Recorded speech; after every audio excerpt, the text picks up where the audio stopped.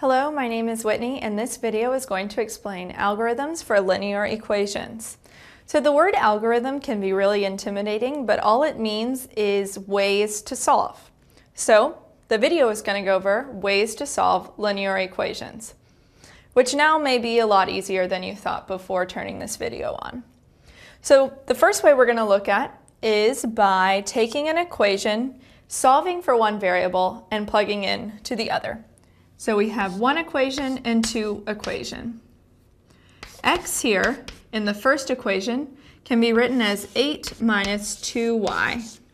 When we plug this x back into our second equation, we have 3 times 8 minus 2y plus 4y is equal to 22. We can just solve this for y and then figure out the value and plug it in for x and figure out x's value. So 24 minus 6y plus 4y is equal to 22. We'll collect like terms here. We have 24 minus 2y is equal to 22. When we move the 24 over, we see that minus 2y is equal to minus 2. So y is equal to 1. When we come up here, we say 8 minus 2 times 1 is equal to 6. So another way to do this is to use matrices. And what we're going to do is we're going to write a matrix that has what's on the left-hand side of the equal signs. And how we're going to do this is just fill in the coefficients. So we have a 1, a 2, a 3, and a 4.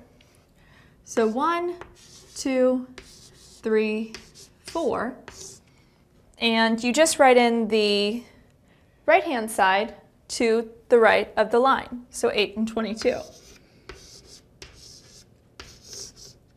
Now the goal of this is to get a matrix that has the identity matrix and the answers on the other side of the line. And all you have to do to get this is to use guess and check methods, manipulating the rows. So what you can do is you can switch rows around.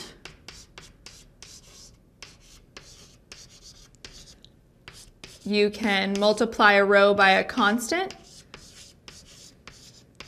So this just means multiply a row by a constant.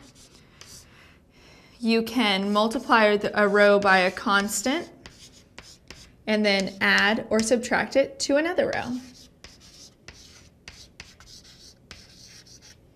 So this method can be a bit more challenging, but if you'd like to try it, just make sure that you double check that your x is equal to 6 and that your y is equal to 1.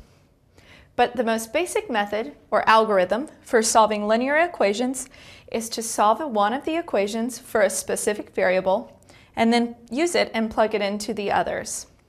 Thanks for watching. This video explains algorithms for linear equations.